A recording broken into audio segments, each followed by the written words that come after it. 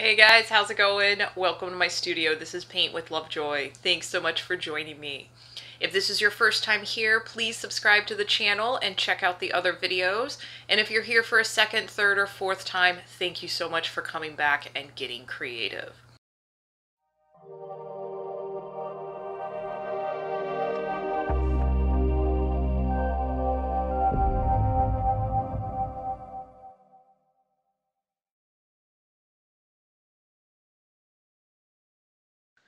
All right, guys, this is going to be another fun Georgia O'Keeffe painting. We're going to really work on our blending and brush control. So grab your supplies, transfer your traceable to your surface, and as always, make sure you take your progress photos.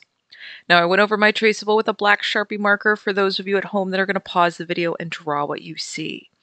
And on today's video for this Georgia O'Keeffe, this is more for my um, not quite first time painters, but those of you that want to get a little more comfortable with your brush control. We have three colors that we're using, red, yellow, purple, um, and then white to kind of mix our colors. And I want you to really strengthen your power of observation. Um, as we go through this and pause the video as needed. For the first couple sections, I do have the colors showing up and then those will disappear as it gets into the video because uh, like I said, it is just the three main colors that we're using. Now, as you're working with your blending, we are using the two small brushes or even smaller, um, so that way we can work on control. So focus on your breathing, exhale as you touch the brush to the canvas, and realize that a tiny amount of pigment actually goes a long way to do your mixing and your blending. And I do recommend doing this painting a couple of times and you will see your blending and your brush control improve uh, greatly. So again, be kind to yourself as you're going through this. As you get into more control, like I said, you want to focus on your breathing and we're going to be making smaller brush strokes and kind of play with the pressure of your brush. Um, light pressure can create a bit of a smoother effect. A little more pressure, your brush strokes will show up a bit more. But like I said, this is just good practice for brush control and blending.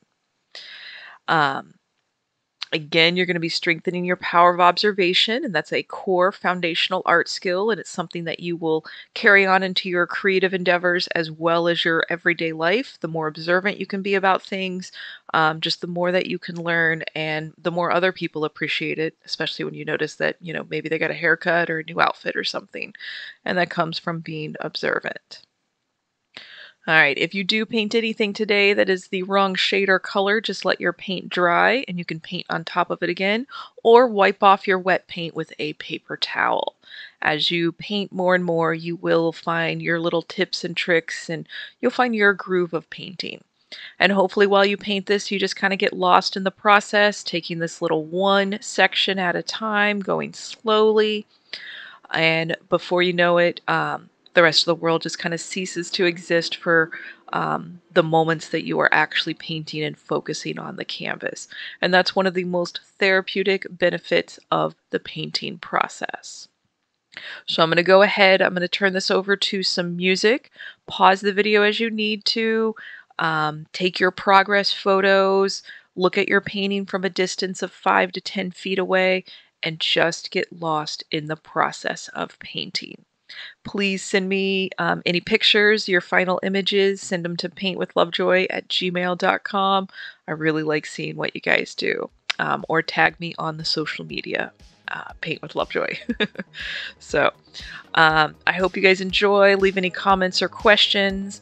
And as always, I just I'm really glad you guys hang out with me and spend some time painting and finding that creative outlet in your life. Keep it going. So, have fun.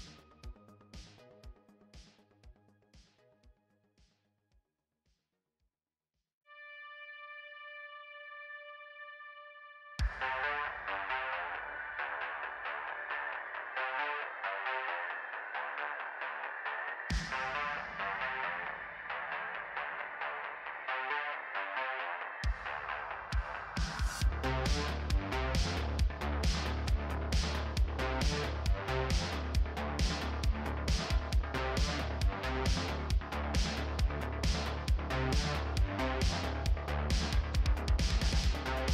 be right back.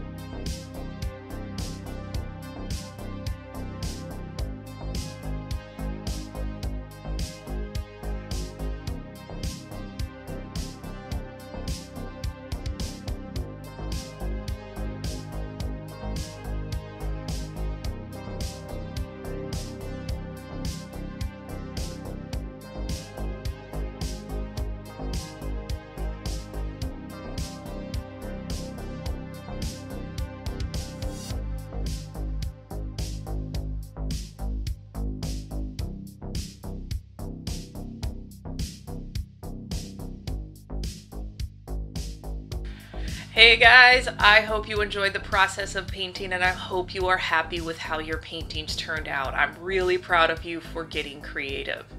As you're uploading these to social media, please tag me at or hashtag paintwithlovejoy or email me your pictures paintwithlovejoy at gmail.com. I really enjoy seeing them. Um, I try to post them on social media to encourage other beginner painters um, to try the process of painting but please share this with your community as well. Anybody who is kind of scared to paint, share your experience with them and let them know kind of how much you benefited from it and how much you enjoyed the process. So kind of share share the fun. Um, with that being said, if you have any comments, questions, feedback, things that you want me to paint in the future, please leave a comment. I try to respond to everybody as quickly as I can. And any of the future suggestions for paintings, I add that to my production list and get to them as quickly as I can. So in the meantime, please keep getting creative. Uh, let me know how you're doing. And until next time, cheers.